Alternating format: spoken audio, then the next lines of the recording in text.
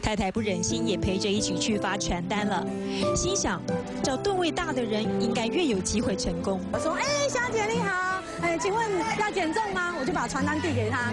这时候呢，他本来没有什么表情，但是呢，看到我把传单这个动作交给他的时候，他非常的生气，他就指着我的鼻子，他说：“你你你，就是你们公司老是要发这样的传单给我。”然后呢，他把我大骂一顿。越挫越勇的精神推着杨美琴往前进。他反复思考，做传销不该老是找亲友，陌生市场才最具有潜力。他不能退缩，咬着牙继续发传单。但命运之神似乎还不愿意放过他，给了更严峻的考验。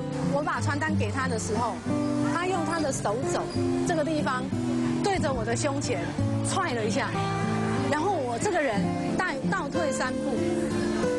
我不知道发生什么事情，然后他开始非常的生气，然后呢就开始又指着我的鼻头大骂。即使如此，杨美琴还是乐观认为，陌生人只是还没有认识的好朋友，秉持这样的态度继续奋斗。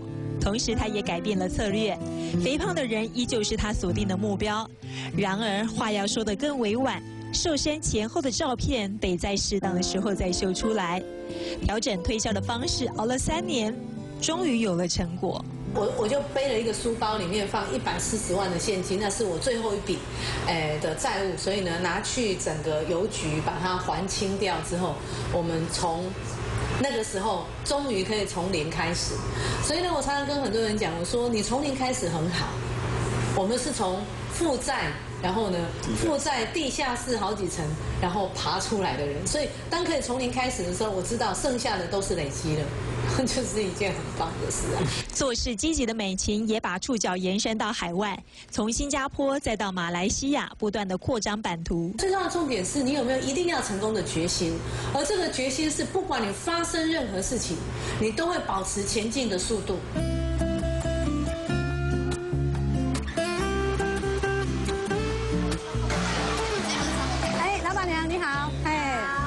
前面哈开了一家早餐店，哦，啊你会在用早餐早等？哇，不一定呢。不一定哦，啊刚有吃过恁的早等？无，无哈，啊你欢迎哈，你要再再过来讲我的早等好不好？尽管业绩好，现在位居公司最高阶层，夫妻仍然上街发传单，陪着新人一起走入陌生市场，寻找他们所谓还没有认识的好朋友。大早。这是我们早餐店的传单。等一下我讲一下哈。OK，好，谢谢。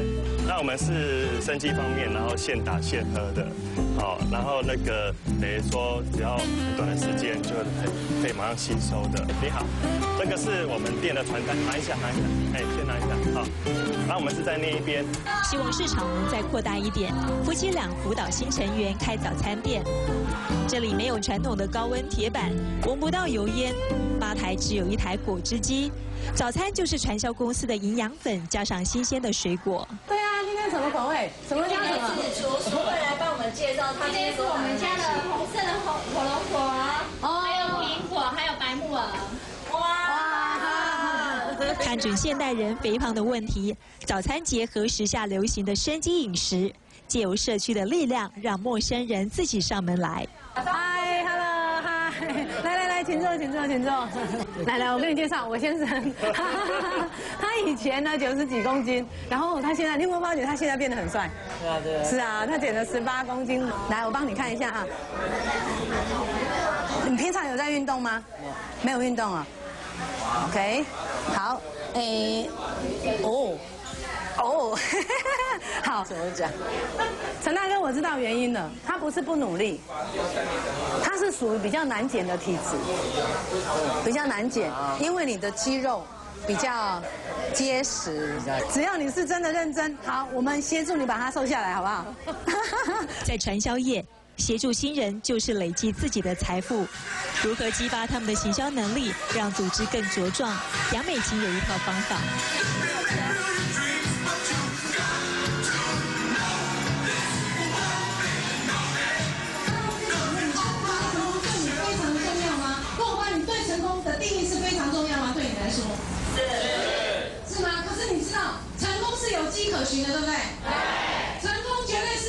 可循的。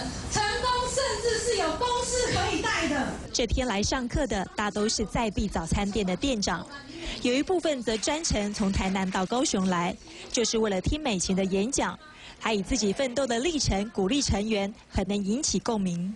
在这个产业当中，最重要的一件事情，人不是没有能力。我常常发觉有很多人都是被自己的情绪打败，跟你说对不对？对。对，我真的不明白，为什么一个有情绪不好的权利？各位有请，如果你跟我一样是负债，我正在告诉你，所有的伙伴，你根本连情绪不好、心情不好。心情沮丧的权利都没有。可是当我遇到挫折的时候，我怎么办？当我遇到异样的眼光的时候，我怎么办？当我真的觉得我心里很不平的时候，我怎么办？各位伙伴，记住只有两个字：忍耐。以前他也曾坐在底下观众席，受到鼓舞，不断的自我磨练，甚至到国外观摩。如今成为超人气讲师。每一段话都富含哲理，杨美琴却说她没有华丽的言辞，说的只是她真实的人生。当别人都倒的时候，你决定还是依然站立，世界就是你的。从传统市场打出一片天地，张光汉带着同仁回头办音乐会，一演义卖。把募来的钱捐给孤儿院，让他们知道说他们的努力有朝一日他们也可以来回馈给社会的。所以我们在在带活动的过程当中，我们开始又给他们一个正确的社会价值跟观念。回馈社会做法背后推手是太太杨美琴，默默在一旁协助先生办活动，而这一切来自于十二岁的记忆。为什么我们家连吃饭都很辛苦？我爸爸为什么每个月还要固定去孤儿院送？所当时小小的我就问了我爸爸：“爸爸，为什么我们连吃饭有时候都青黄不接？为什么我们还要去做这样的事？”但是呢，我爸爸就摸着我的头，他跟我讲：“阿 Kim，你知不？咱到了囡仔做幸福，阿姆哥呢，过年看囡仔无分行下。所以如果我们可以的情况之下，其实我们这一点米可以帮助他们可以吃饱一餐。从负债好几百万到年收入好几千万。”除了自己的努力，杨美琴深切体会别人给他们很多机会成就这一切，但重要的是决心，决心成功，各种难关一一被克服，终于实现他们的人生梦想。